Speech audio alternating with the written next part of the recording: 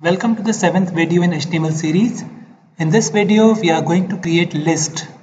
List that can be numbered or it can be an unordered list without any number. It's just like you create a list of things that you have to do. You create a quick note in your diary that says, okay, I have to buy a pen today, go to a friend's house, submit the fee and so on. Maybe you create a list of items that you have to buy from the market or any kind of list. Sometimes you create it in numbered form like one this two something else three. Or you just create a list without any number.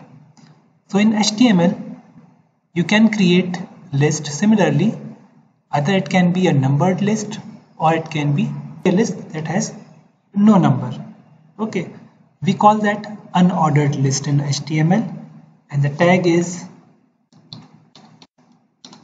UL unordered list UL U for unordered and L for list U and L. Okay. So this is again a container tag. So we have to close it as well. Okay. So we are trying to add a list just below this heading. Check out my website which is here. It is completed here after the font tag is closed. So we add our list just below it. Okay. So we have created our first tag unordered list. We have closed it as well. But there is no actual content. So let's write it. Suppose it is a list of the hobbies. Maybe you have hobbies of dancing, singing, reading books, and so on. So in our list we have three items, right? You can see we have three items. So these are the list items that you are trying to add in your list. List items, okay? So we have the tag list item li. So this is your list item 1 this is your list item 2 and this is your list item 3 and it's optional. You can close this tag or you can leave it as it is. It's optional. But I like closing it. I just close it. Okay. So as simple as that we begin with our UL tag. We end it with UL tag. And the list items are enclosed in li tag list items. Let's save it and see. So our list is here. It is represented with dots because it is an unordered list. There are no order for it. What if we want to add a heading to it? Of course we can do it. Let's try with h3 or let's keep it even more smaller h4 the list was about hobbies. My hobbies. Okay. What if we want something different? We don't want dots. We want some other icon.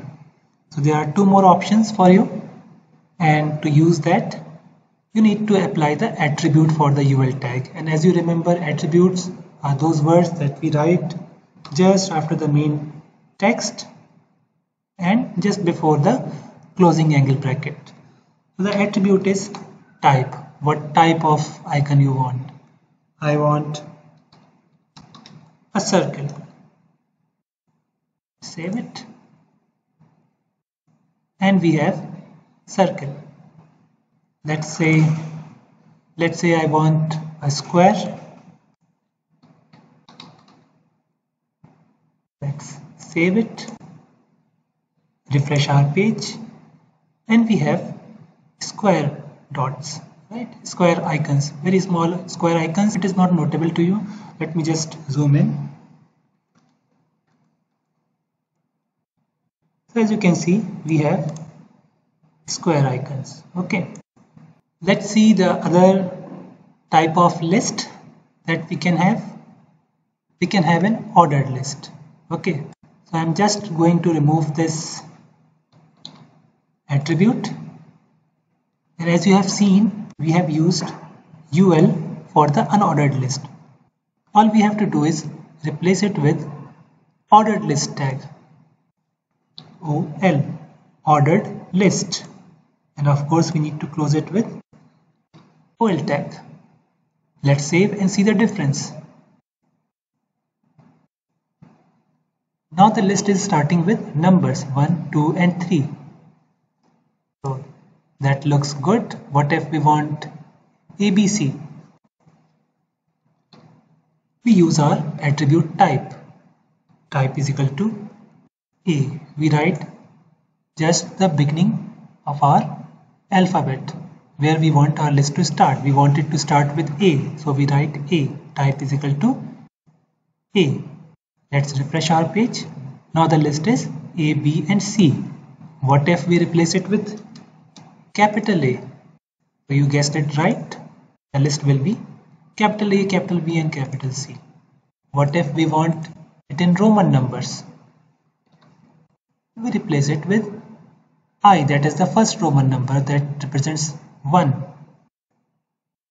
Let's save it. See, first, second and third. And if you say the fourth list will be 4 times I, no, it will be a proper Roman number let's try adding one more item in our hobbies. Let's say we like playing cards. Let's save it. And we have a proper Roman number 4 what if we want our list to start from say number 5 obviously it will look odd here but still if we want our list to start with number 5 instead of default 1 2 and 3 we can give it a different attribute that is start. Start is equal to 5